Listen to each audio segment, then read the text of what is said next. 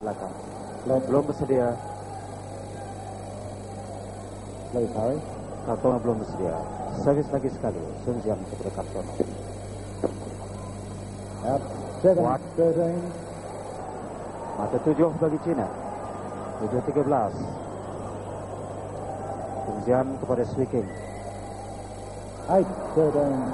Gagal juga. Delapan tiga belas. Tinggal hanya lima mata sekarang. Sudah pungut dua mata dari servis yang pertama.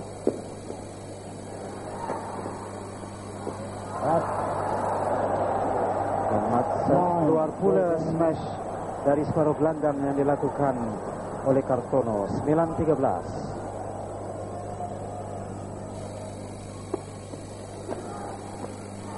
Cantik daripada Lim Swee King.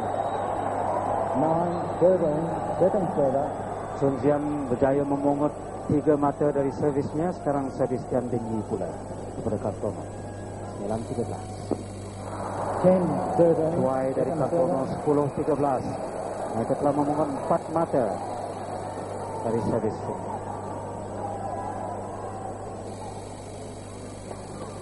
Habis over. sekali Lim Swee King. Thirteen. Ten. 13-10 sekarang. Bola yang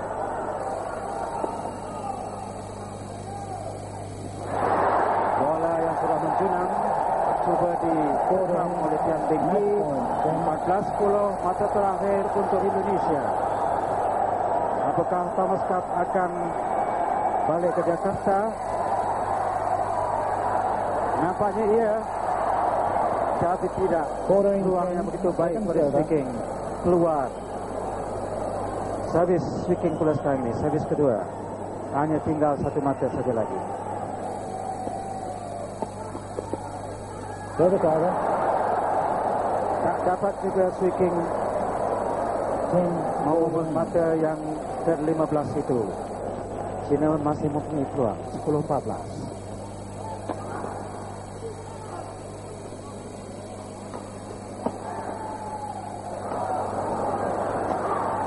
Out. Keluar lagi sekali cubaan yang begitu bersungguh-sungguh. Begitu kencang dari Lim Swee King tetapi keluar. 11-14. Satu ketika mereka tinggal 6-13.